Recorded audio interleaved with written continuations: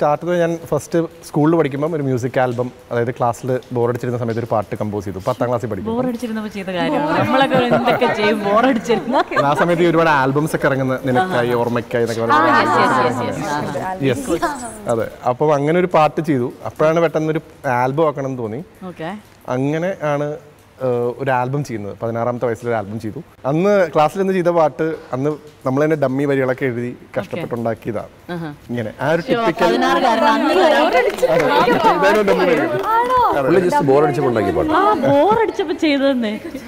പക്ഷെ അന്ന് തീരുമാനിച്ചു മ്യൂസിക് ഫീൽഡിൽ തന്നെ ആണ്. അതാണ് ആ റെക്കോർഡിംഗ് ആ സ്റ്റുഡിയോയിൽ ഒരു പരിചയം എന്റെ ഫീൽഡ് അമ്മ അച്ഛനും ആരും ഈ ഫീൽഡിൽ ഇല്ല. അപ്പൊ അങ്ങനെ റെക്കോർഡിങ്ങിന് പോയി സ്റ്റുഡിയോയിൽ എത്തി ഫസ്റ്റ് ടൈം റെക്കോർഡ് ചെയ്തപ്പം അതെനിക്ക് തന്നെ പാടി അഭിനയിക്കണം എന്നൊക്കെ ആയിരുന്നു. പാടി അഭിനയിക്കില്ല സോറി പാടണം ആഗ്രഹം.